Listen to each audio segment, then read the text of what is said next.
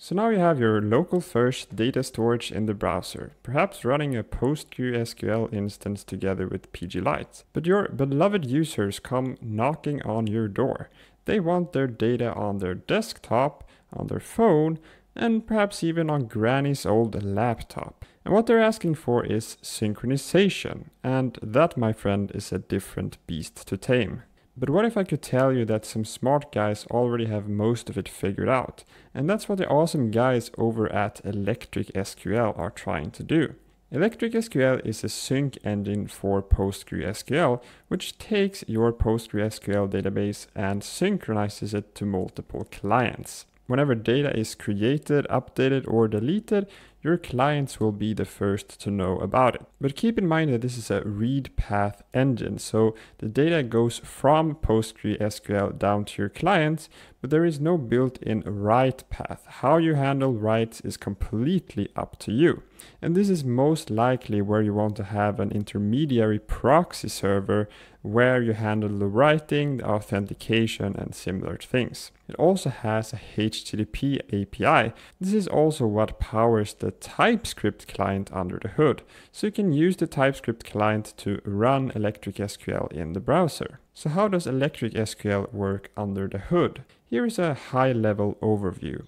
Instead of taking your fat 5 megabyte database of cat images and just dropping it on your client, Electric SQL instead uses a subset of your data in what they call shapes. And these shapes are tied to a specific table. So when your to-dos table changes, for example, you will get notified about it. You might also provide where clauses here to filter out data based on some interesting columns that you have. And this is a streaming API, so Electric SQL will continuously send down updates to your client. But the first time that your client connects to Electric SQL, we actually set the offset here to be minus one. And that will give the client all of the data that is stored in the table. But for subsequent requests, the offset will be changed so that the client doesn't have to get data that it already knows about. So let's go ahead and get up and running with Electric SQL. The easiest way to run Electric SQL is together with Docker. If you don't already have Docker and Docker Compose installed, you can find it on the Docker website. Electric SQL provides a small Docker Compose file which sets up the Postgres server and the Electric server. So you can find this to be downloaded on their website or you can pull it down with curl into the current directory. So that's what I'm gonna do now. Now that we have that Docker Compose file, we can just run Docker Compose up and it will set up the Postgres server and the Electric SQL server. So let's go ahead and try out the TypeScript client. I'm currently running a project here in Vite with Svelte, but you could be using any framework whatsoever.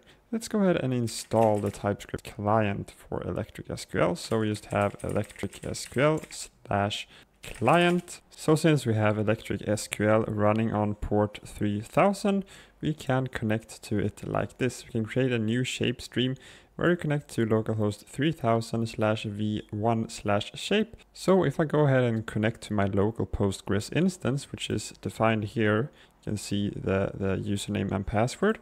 Should be able to get into that. Then we can create this scores table so that it will be defined for us. We can also go ahead and insert some data into this table. So now we want to subscribe to this shape stream so that any updates that we get to the database will also be displayed in the browser. And we can do that by creating a new shape that takes in this shape stream and then we can subscribe to it with shape.subscribe get back a callback whenever the data has changed and we will just log it out, print it out to the console. If we then go ahead and open our app in the browser and take a look inside of the console, we can see that we now have all of these rows showing up. They have also been deserialized into proper JavaScript objects. What is interesting is if we now try to insert a new score into the table. So let's go ahead and execute this insert statement. And boom, won't you look at that, it was almost instant. We can see that we now get back another value with this test value added. Of course, we could also delete Charlie. You can see that we get back another array that does not contain Charlie anymore. We can of course also use some reactivity with Svelte here. So whenever we get back an update from the shape stream, we just reset our scores state and it will be rendered in the client. We can also set a where clause in our shape stream, so we will only get back scores which are greater than 2. In the last video we looked at PGLite for embedding a PostgreSQL instance directly in the browser with WebAssembly and this was made by the same guys who created Electric SQL. So of course they will have first class support for PGLite as well. So here we can synchronize our backend PostgreSQL database into a locally running PGLite instance in the browser. So in order to do that, we can install the Electric SQL PGLite sync library then we create a PGLite instance just like before, but in this case we send in the electric sync extension when we create it. And then of course we also need to create the tables locally. So if I have a table called scores in my remote Postgres instance, then I want to have that locally as well. So we create that table if it doesn't exist.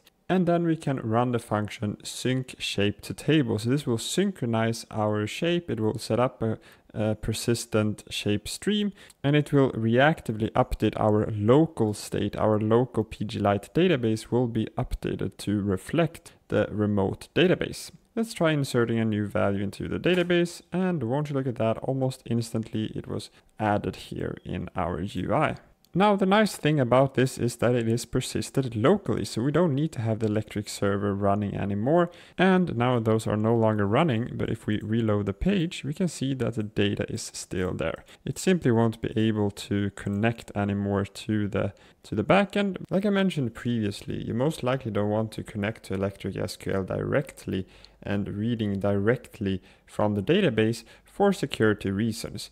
You want to place these requests behind a proxy we can also handle things like authentication. Suppose we have a to-do app. Of course, Lisa doesn't want Bob to be peeking at her secret to-dos. We need to make sure that Bob can only read the to-dos that he himself has created. And in this proxy server is also where you can handle mutations, such as inserting or updating data, where you can speak then directly to your Postgres database. So here's an example of how that proxy server can work. Here I'm using the Hono framework for my HTTP server. I'm just setting up a new Hono server and then I define this my to do shape route, which will proxy the requests from the clients to the Electric SQL server. Here we just set up the URL to our Electric SQL backend. Then we copy over all of the search params if they are proper valid electric query params. We don't want to copy over any arbitrary query param, but those valid electric query parameters will be copied over into this URL and then we set some of these search params such as the table. We select the to-dos table and we also read authorization header. In this case you would probably want to actually authenticate with perhaps a, a JWT or a bearer token. Uh, but here we just pass in the user ID in the authorization header. And then we can set a where clause in our shape request. So we will be fetching shapes only where the user ID column is set to the specific user ID column that we have authorized. Then we simply replay this request, but we send it to the Electric SQL server instead. And here we just delete the content encoding and content length headers since those will be different for our response. And then we simply stream back the response that we get from Electric SQL. I've also set up a very basic post route for inserting a new to-do into the database. So here we just send in the title as JSON and then we just insert into our table simply by connecting to this Postgres instance that we have running. So here is an example in the browser. We can see here that Lisa has these five to-dos, but if I were to go over to Bob, we can see that he does not have any to-dos. If I create two to-dos for Bob and go back to Lisa, we can see that they are not the same. So how I set up this in Svelte is simply by using this authorization header that I mentioned previously. Of course, you want to have proper authorization and not just send in the arbitrary user ID. So that's all that I wanted to cover about Electric SQL. But of course, there is much more to learn and you can find out more by visiting their documentation. Feel free to leave a comment down below if you have any questions or opinions, and I will see you guys in the next video. Peace out.